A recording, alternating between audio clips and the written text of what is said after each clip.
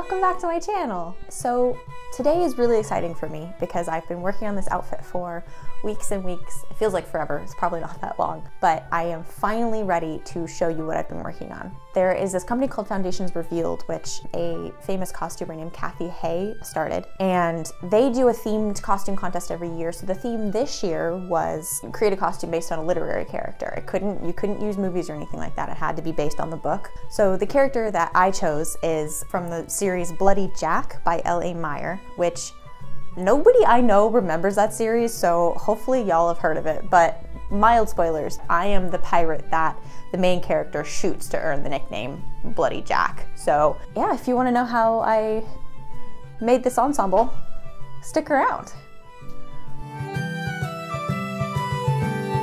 All right, to get started, let's draw out some of the pieces we're gonna have to cut out for the shirt. My measurements are gonna look a little bit different than Bernadette's because she used a 60 inch wide fabric and I didn't check that before I bought my two yards of my 40 inch fabric. So we're gonna have to squeeze if we wanna get everything that we need out of this.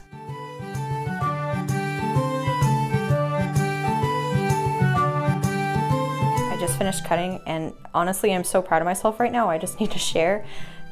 I've got everything cut out, so my body, my sleeves, my collar, gussets, cuffs, and reinforcement patches. And this this is all I had left over. This is it. This is all my scraps. I, I've never been more impressed with my math skills than I am right now. okay, I got a little excited, so I did this off camera, but this is where we're at right now with the shirt. So I have gone ahead, folded it in half, and pinned all the sides together, leaving the arm side kind of open, just where that gusset's gonna go and where the sleeve's gonna set in. But here's where the neck is. So I ended up changing my neck measurement to 10 inches for the shoulder just to give it a little bit more droop. I've pinned and marked the center. This is where the chest hole, I don't know what you would call that. The, I don't know, where a button placket would go on a button down. It's way too big for my shoulders, but we're gonna gather all of this excess up into the collar. So it's gonna be really poofy. I'm gonna cut five inches first and then we'll see where we're at and maybe cut to the full eight.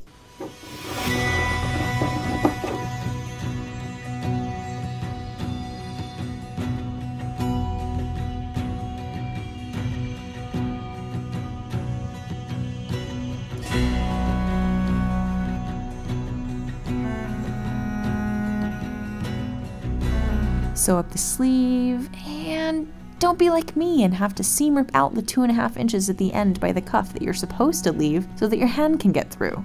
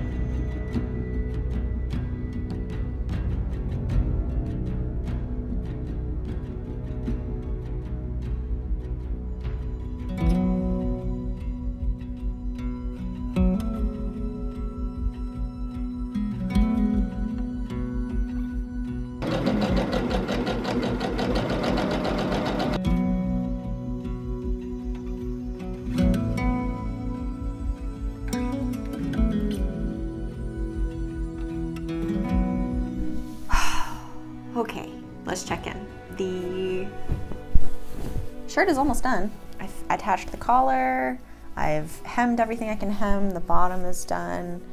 And now the moment that I have been procrastinating is here. I have to attach the sleeves and I don't want to attach the sleeves. I'm really scared. So from what I understand, I have to gather the top of the sleeve bit down, scrunch it down really small, and then the gore is what gets attached here. I'm just really nervous. I don't know how this is going to work because I was planning on machine sewing it. So there's nothing else left to do on this shirt and we only have two weeks until the contest deadline, which means I actually have to start on it now and I can't just put it off, so yay.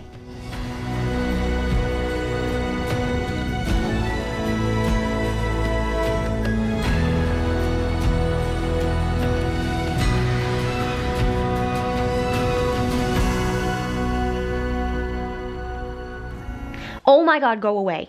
Go. Go.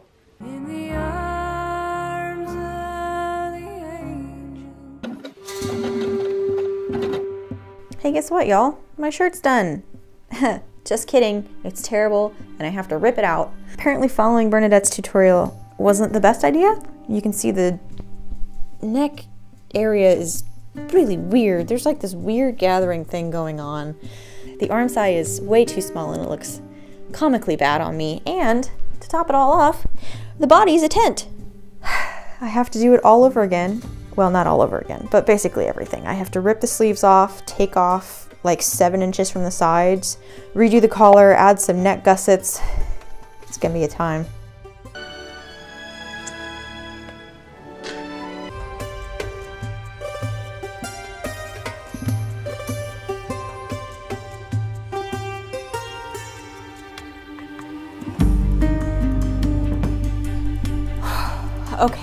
So now that the shirt is done, it's time to move on.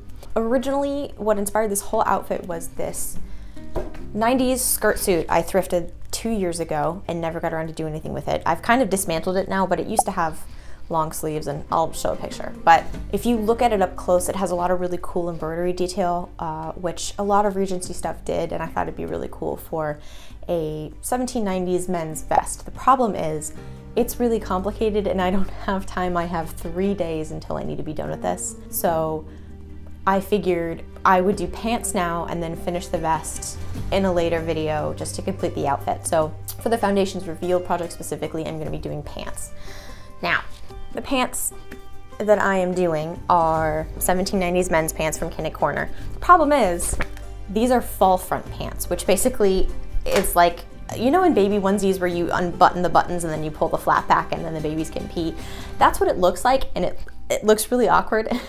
And I know it's historically accurate, but I don't love it. So I decided to take that Kannik's Korner pattern and modify it to something closer to the 1750s, which was just a button down front. It's called a fly front pant. So that's that's the direction I'm going in, which means I have three days to modify a pattern and make it up as I go along, basically. Vaguely historically accurate. I'm just going with maybe the pirate had a buddy who had old pants and just stole them from him, and that's why he has 40 year old pants. I don't know uh, that's what we're gonna do. So I've got my pattern pieces pretty much modified. I didn't change too much. The only thing I really changed, you can see I added the button fly placket thing here to the front of this. This will get pressed over and sewn down as a way to cover the actual buttons because I don't want the buttons to, you know, show and stand out while I'm wearing it. I had to extend the waistband a little bit because, I don't know, maybe I'm fatter than I thought I was. But other than that, we're good to go. We're good to start cutting.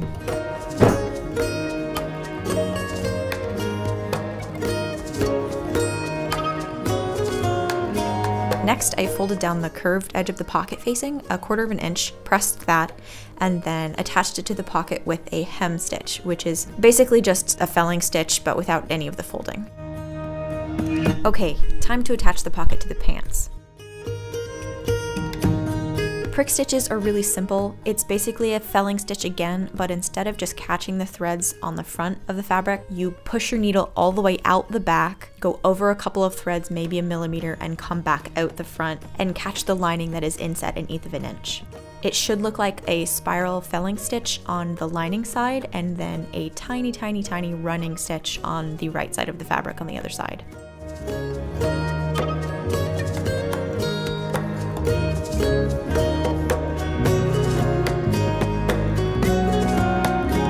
Waistband pieces together pretty much the same way I attached the pockets to the pant legs. Folded, pressed, and then sewed down with a prick stitch.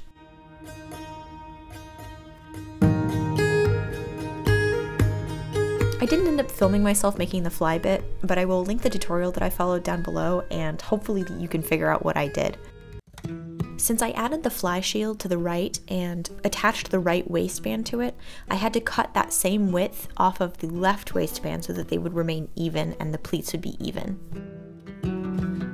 Just make sure when you're attaching your waistband and sewing it all down, you go really slowly and smooth everything out below as you go. I left the sides of each of the waistband pieces open but pressed so that when I go to attach it to the pant pieces, it's easier for me to fold it over and attach to the inside lining.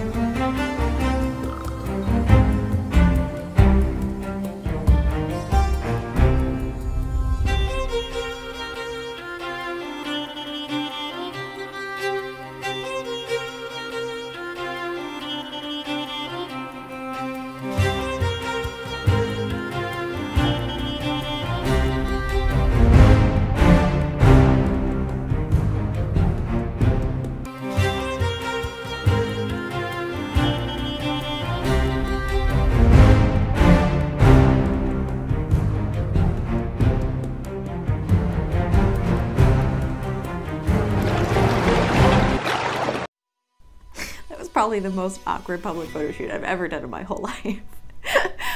but we did it. We're done.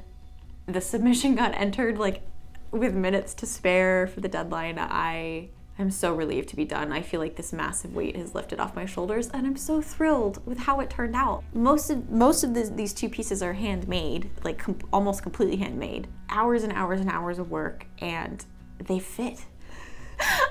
they actually fit me. I wasn't expecting that. There are a few things I wish that I had done a little bit differently. Um, like the sleeves are, are a bit too poofy. I think the proportions I followed for the sleeve poof are meant for someone who's significantly bigger than I am, i.e. a man. So I end up looking more like the Michelin man and less like Mr. Darcy, which is not what I was going for, but that's fine.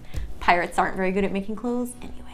And the other thing is I need to take a little bit of the poof out of the butt area. I think it's the pleats. I think it's the pleats in the butt that really make it poof out, but it's not terribly flattering. So I need to take like an inch or two out of the seat and then it'd be all right. But I love the things that I love about this outfit. Um, first of all, the gold buttons on the black linen look just chef kiss. I, they're so beautiful. And I was really debating not using them because I was like, I don't know if that's like too gaudy. No, it looks it looks even better in person, I'm not gonna lie. The second thing I love about this outfit is the massive pockets. They uh, I'm really jealous of menswear because men have, I mean, they have pockets to begin with. They have pockets, but these pockets are big pockets and they're hidden pockets and they have they're just that they're just really cool and I'm I feel really cool when I use them. But yeah, other than that, I mean, I'm so thrilled that you guys came along with me for the journey. For my first foray into, you know, real historical costuming, I think this was a success. But anyway, so I thank you so much for sticking with me and and following this journey of mine. I hope that you consider liking and subscribing and I will see you next time.